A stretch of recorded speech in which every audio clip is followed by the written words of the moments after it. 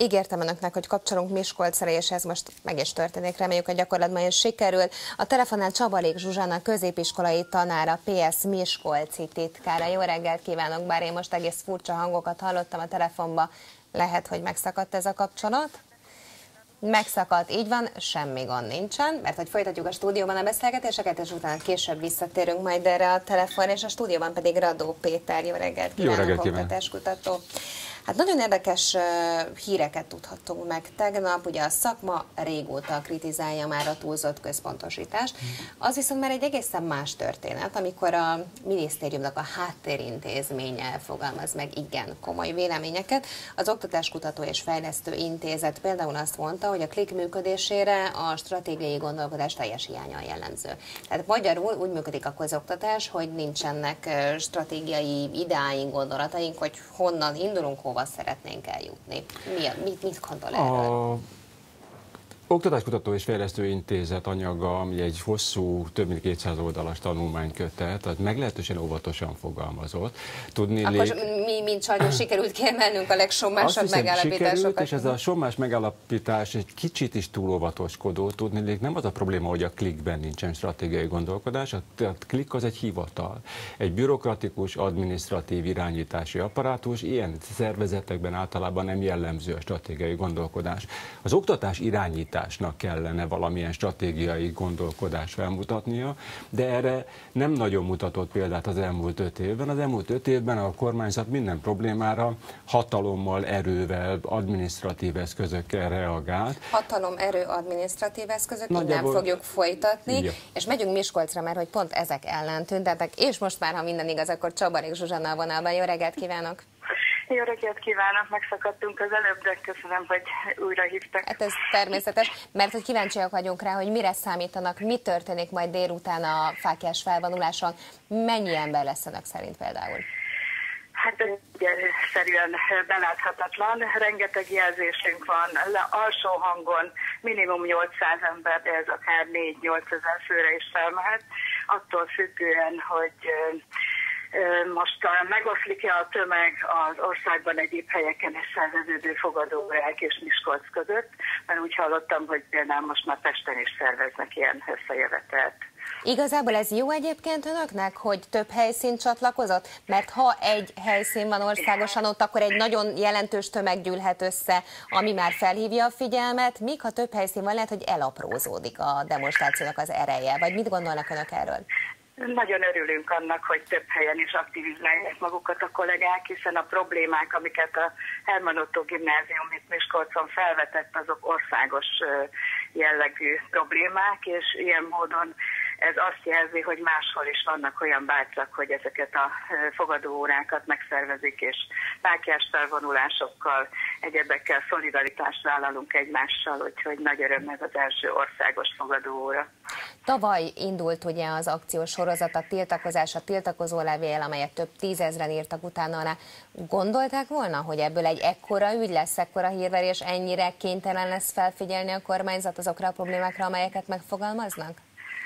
Hát valószínűleg nem, mert már rengeteg levél fogalmazódott meg előtte is, tehát uh, Ivés Gyulai Gimnázium, több óvoda uh, kifogásokat emelt már fel. Valahogy itt úgy sikerült szintetizálni az oktatás területének valamennyi problémáját, és olyan módon sikerült a gyermekekre koncentrálva feltárni ezeket a gondokat.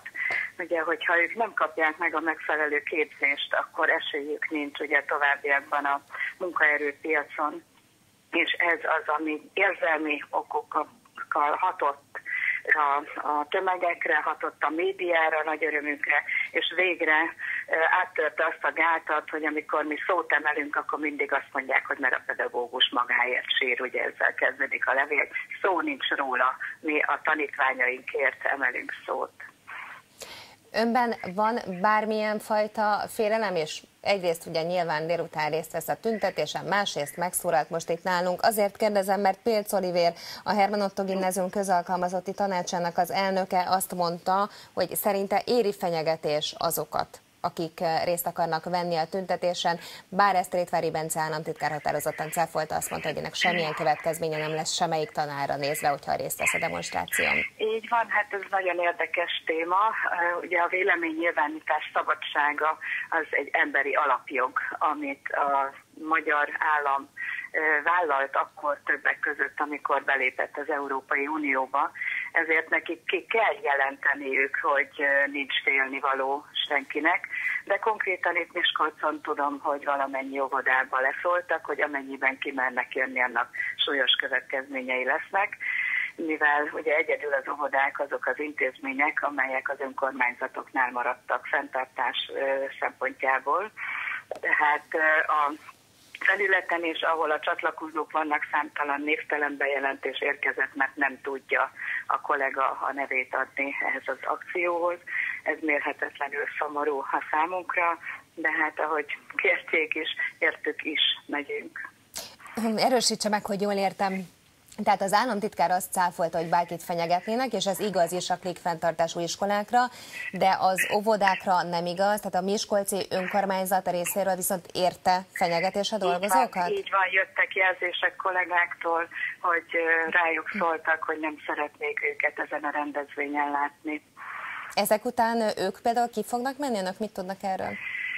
Én nagyon remélem, hogy ha összefog egy-egy óvoda, nem lehet leváltani a teljes személyzetét, és egymást védve, óva ki fognak jönni, és velünk együtt vesznek részt ezen a fogadórán, mint ahogy a klik is már visszalépett, és a ma délutánra tervezett értekezleteket megtartotta még tegnap.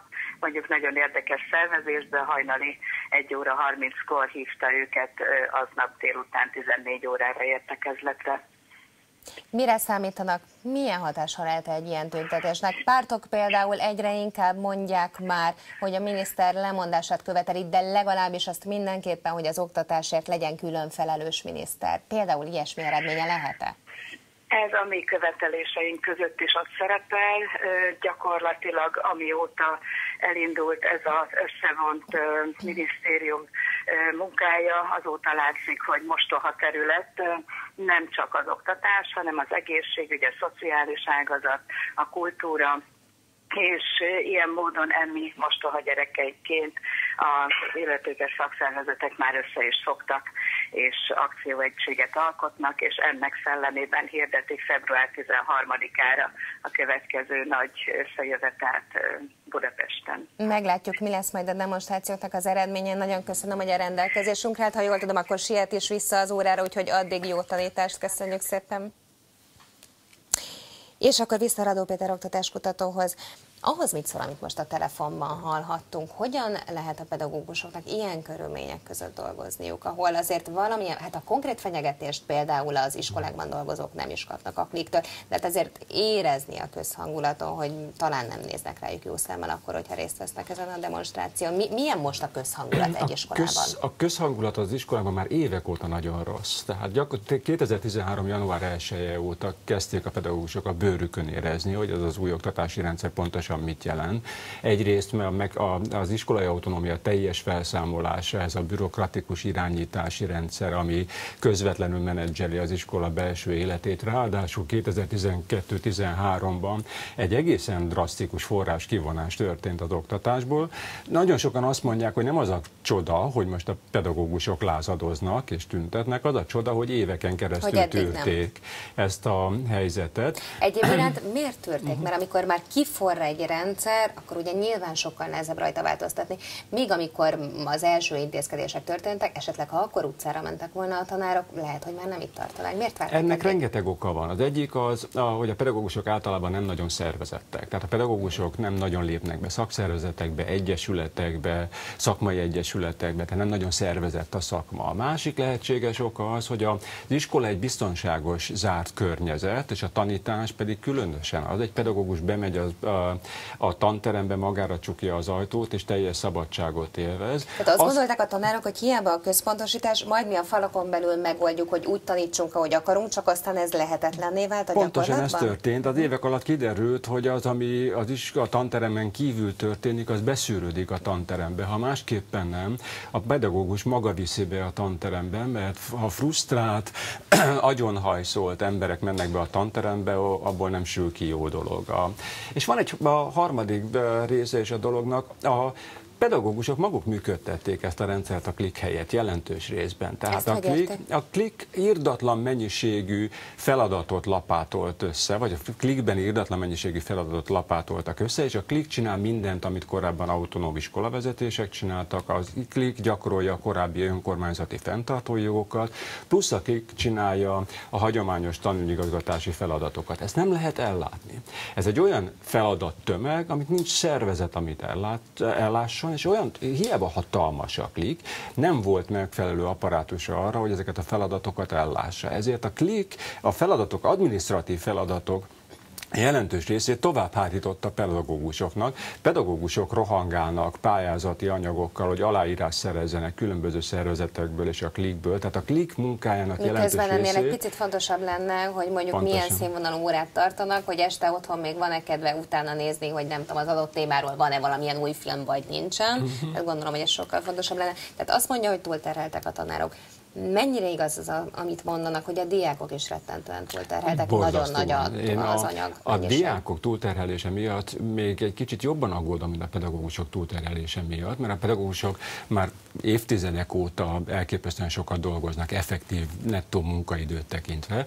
A, pedag- a ta- tanulók munkaterhelése viszont gyakorlatilag 2003-ban ugrott be, csak hogy egy egyszerű példát hagy hozzak, egy ö, elsős 6-7 éves gyerek napi négy óránál hosszabb hosszabb ideig nem tanítható. És az első gyerekek óraterhelése, napi óraterhelése az négyről ötre növekedett, és a tanítónénik azt mondják, hogy öt, az ötödik órában már nem nagyon lehet mit kezdeni gyerekekkel. Ráadásul bevezették a kötelező bentartózkodást is a gyerekeknek, ami aztán végképp nonsens. Tehát a... Logikus döntésnek tűnik egyébként első blikre az egész napos ott tartózkodás, mert jó, hát ha már ennyire nagy a tananyag, akkor ugye szét lehet elméletileg húzni egész napra. Amiről nem beszél, az az egész napos iskola. Ami Viszont az nem valószínű, meg csak az, hogy ott kell lenni. Pontosan. Tehát egész napos iskola nincsen. Tehát nincs, a, a, egy-két helyen van kísérleti jelleggel, mert korábban a, létrehozták. De itt nem, a, nem az történt, hogy újra gondolták az iskola pedagógiai működését, újra gondolták a terhek elosztását, újra gondolták, hogy milyen kapacitásokra van szükség ahhoz, hogy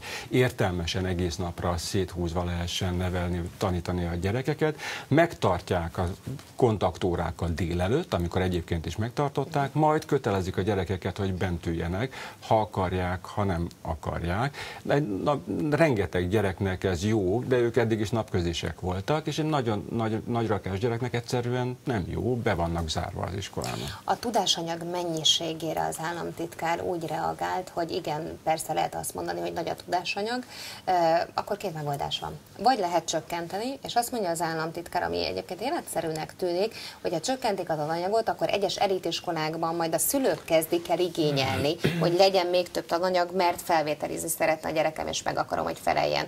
Tehát ez is nehéz csökkenteni a tananyagot, vagy a másik módszer, hogy jó, marad a tananyag, és elhúzzuk 9 évre az általános iskolai oktatást. Ez Mi a, a 70-es évek dilemmája.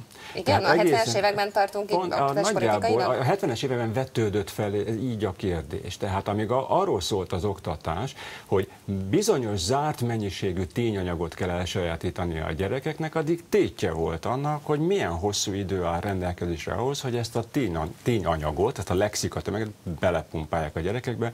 Most már készségek fejlesztésében gondolkodunk, ehhez másképpen kell tanítani, ez nem feltétlenül időkérdés. Készségfejlesztésben gondolkodnak önök, hát meglátjuk majd, hogy a kormányzat miben gondolkodik mm-hmm. hosszú távon. Köszönöm szépen, hogy itt volt velünk. Én köszönöm.